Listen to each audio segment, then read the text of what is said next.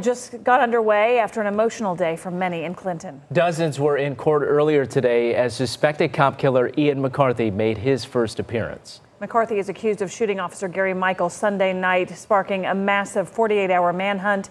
Now, the community there in Clinton, Missouri is concentrating on honoring Officer Michael's life. 41 Action News reporter Tom Dempsey live now in Clinton with one special way a fellow officer is remembering him. Tom? Well, Mike, organizers literally just opened the doors for the visitation of Officer Gary Michael, and already a very strong sign of support here in Clinton. You can see uh, family members, neighbors, uh, fellow officers from the Clinton area in the parking lot of the Vansant Mills Funeral Home to pay their respects. Of course, many people across the area continue to honor Officer Michael in special ways, as you said, including a Henry County deputy who attended the police academy the same time Michael did forget this officer down.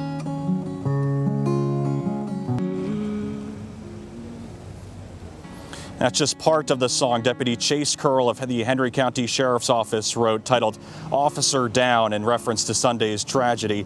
The lyrics dealing with the friendship the two shared and the sacrifice Officer Michael ultimately paid this past weekend. Curl says he wrote the song in two hours, then posted it to Facebook. Since then, the song has been shared more than 8,000 times. Curl says writing the song helped him deal with the pain from the shooting. Don't necessarily forget, but you can you can cope with it. It's a coping mechanism for me, I think.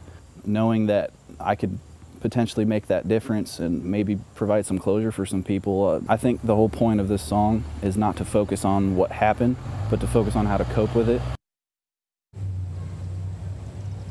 And we will have more coverage of the, uh, the story behind this song at 10 o'clock. But another uh, show of all that uh, support right now in the parking lot of the Vansant Mills Funeral Home. The visitation just getting underway.